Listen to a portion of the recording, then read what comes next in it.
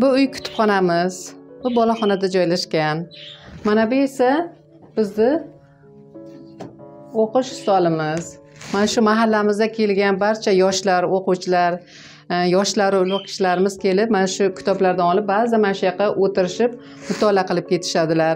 Bizda ko'pincha tadbirlar bo'lib turadi. Mana shu yozuvchilar shoirlar keladi. Mana shunda mana shu stoldan o'tirib ular bemalol tadbirlarni o'tkazib foydalanishadi. Bu yerda mana faoliyatimiz davomidagi erishgan yutuqlarimiz e, bir qancha mana tashakkurnomalar diplomlar e, faxriy yorliqlar mana shu yerdan joy olgan. E, bularda mana yaqinda alla ko'rik tanlovi bo'yicha ikkinchi darajali diplom bilan taqdirlandim.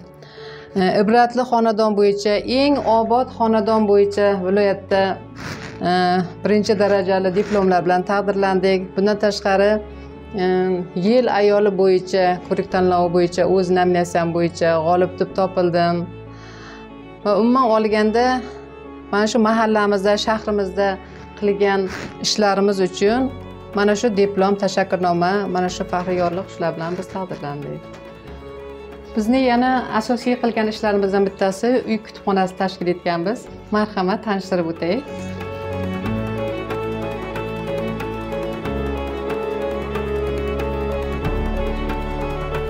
Mana ko'rib turganingizdek mana shu bizni uy kutubxonamiz.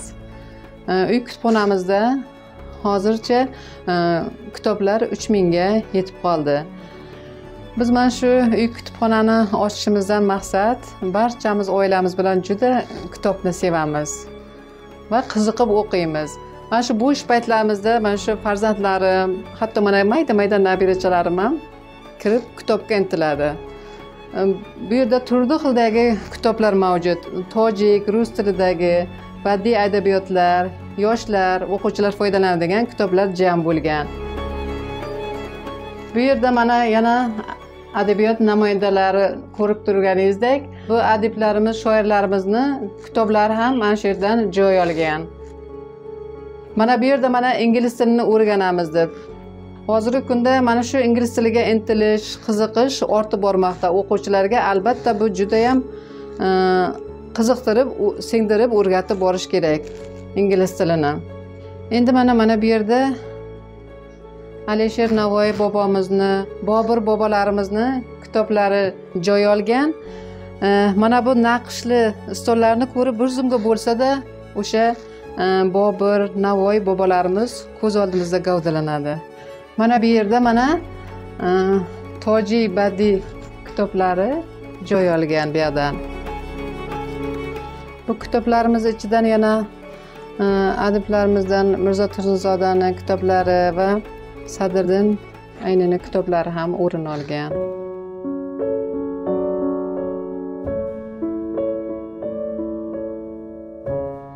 Bu kitoblarni men o'sha tojikistonda tug'ilib o'sganligimiz uchun ko'p mana shu tojikistonga borib turamiz o'shanga borganimizda keyin mana bu qarindoshlarimiz o'sha tojikistonda yashashadi. O'shalar har kelganda mana shu kutubxona uy kutubxonam ochganligimizni eshitib o'sha quruq qo'l bilan kelishmay o'sha ikkita ikkita bo'lsa ham mana shu tojik tilidagi kitoblarni olib kelishyapti.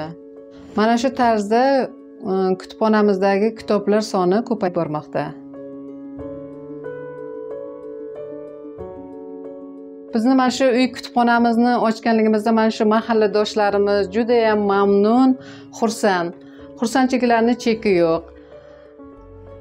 Bundan tashqari mana shu mahallamizni xursandchiliklarini ko'rib bizni ham yana ishimizga nima ish g'ayratimizga g'ayrat qo'shilmoqda.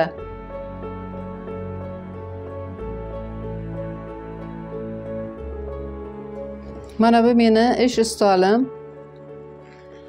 men yana niyatlarim xudo xohlasa mana shu uy kutubxonamni kengaytirish va kitoblar sonini ko'paytirish. Niyatlarim juda ko'p.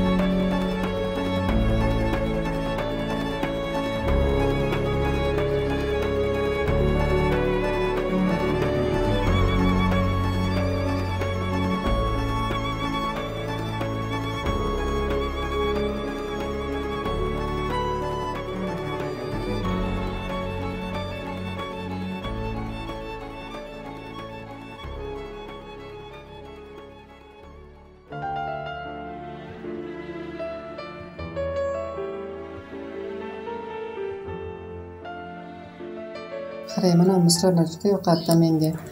Mehr ko'p ko'rgazdim ammo mehriboni topmadim.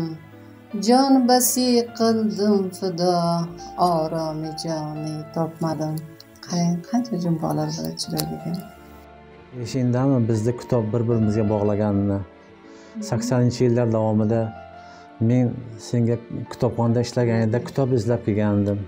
Shunda belur qandillar degan kitobni menga tavsiya qilganding shunda bir kun mobaynida shu kitobni kechasi uxlamay o'qib chiqib ertasi topshirganda ishonch hosil qilmagan ishonmagandim rostdan nahotki shu kitobni o'qib keldingiz deb. Qanday isbotlash isbotlashim kerak edi? Shunda qiz bilan yigitni belur qandili ostidagi ahd vafosini aytib bering deganingda man bir yuz oltmish sakkizinchi varaqda oching deb aytganim esingdami? Hmm, esimda. Keyin shu payt qiz bilan yigitni bir biriga bo'lgan ahd vafosi vataniga oilasiga onasiga ota onasiga bo'lgan muhabbati to'g'risida shunday gapirib berganida qandil ostidagi bir biriga bo'lgan ishonch hosil qilganini kelajak uchun intilganlarini aytganida sen menga o'sha nahotki shu kitobni bir kechada o'qib kelding ishonmagan eding to'g'ri ishonmagandim. Keyin keyin menga yana boshqa kitob tavsiya qilding.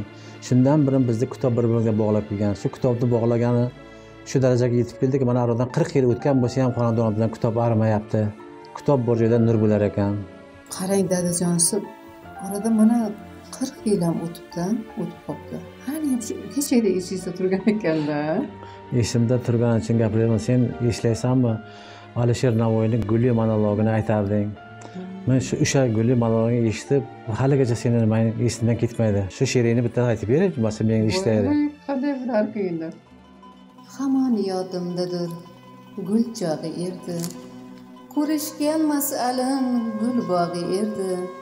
Ochilgan rang barang gullar chamanda quyoshdan barq urib aylardi qanda. Sochilgan unjidek barglarda shabnam. O'pib gul bargini yil o'ynaganda. Ochib gul daftarim bulbul o'qirdi. Muhabbat haqida doston to'qirdi. Esimda. Esimda qutqarib hijron o'limdin gapirgan gaplaring ushlab qo'limdin qilib to'y so'ng bo'lurmiz birga doim. Seni ko'p ko'rmasin menga xudoyim so'rmang. Haqiqiy g'uncha men dil g'unchadek tang haqiqiy g'uncha men bag'rimda xondir haqiqiy g'uncha men bag'rimda qondir. Faqat faqrim shuki g'uncha ochilgay. Men ochilmay turib so'ldim umrbod meni unga xudo ko'p ko'rdi hayho meni qirq yil oldingi hayot qaytadi bu she'rlaring bilan sen esimda qolganlari shu endi.